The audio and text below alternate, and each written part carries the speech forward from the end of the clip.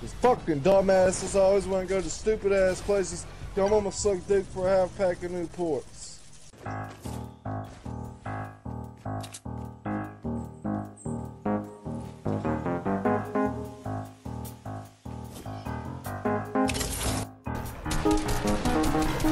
Thank